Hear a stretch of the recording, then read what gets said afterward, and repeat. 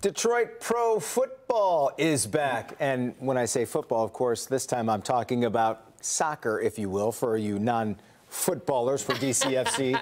uh, it's under new leadership this year, and uh, this season about to kick off tomorrow. First chance to see 2024's Le Rouge at Keyworth Stadium. And your first chance to see Matt Sheldon, who just joined the Detroit City Football Club. Uh, this is exciting. You're coming off of a win in Colorado Springs, and the home opener is this weekend. Yes, yeah, it was a great win. I mean, that's how you want to start off the season is, is with Yeah. three points. So really excited about that.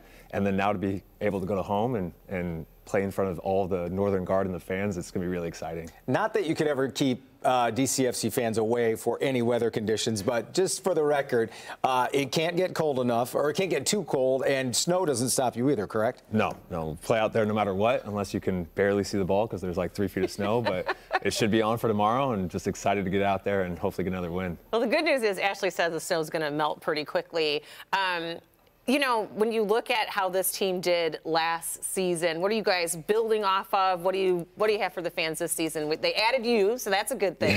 yeah. now Detroit, I mean, has always had a great team. They've had fantastic history, and Trevor James and, and everybody at, the club has just great, built such a great organization. And now adding Danny Dichio and all these new players coming in, I feel like we've just gotten stronger. So hopefully we can keep that momentum, keep going, and then just have an even better season, make playoffs, and have a good playoff run this year. nice. And you're a veteran who's been around this league. You've seen what it takes to win in this league.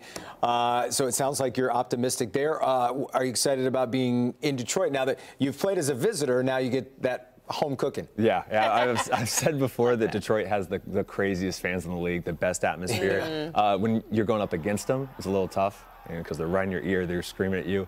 But hopefully, having them on our side this time and my side is going to be way, way better. The fans are awesome, and also just Keyworth Stadium. Being in that stadium, like you said, it's just a special place. Yeah, definitely. I can't They wait. have anything new for the fan experience that you know about? oh, they're always working on something. Um, now, with uh, the team this year, uh, is there anything? I kind of talked about success, but when the team starts out like this, you've got a new new coach. Do you put goals up on the wall? Do you talk openly about here's what we want to accomplish? Mm, Yeah, anytime a new coach comes in, there's always going to be a little bit of change, and uh, we're definitely working on different tactics a little bit. But still, I mean, Detroit's been a great team over the years, so we just really want to build on that Yeah. and just add p- bits and pieces here and there. So we've been working really hard day in day out. I think the guys have pushed themselves every day this preseason, and it's been going really well. Well, so we're glad to there's so many folks that play soccer as kids. I know you were a star when you were 11. but how do you get to your level? You know, how do you get to do this for a living? What was your path? honestly just don't stop that's Yeah. the thing kind of focusing on it and it's just training every single day from five years old until you turn 31 years old and you got a wife and kid and still still training every single day That's Right, the key is to have a leg that can kick the ball, and the ball doesn't go straight; it goes.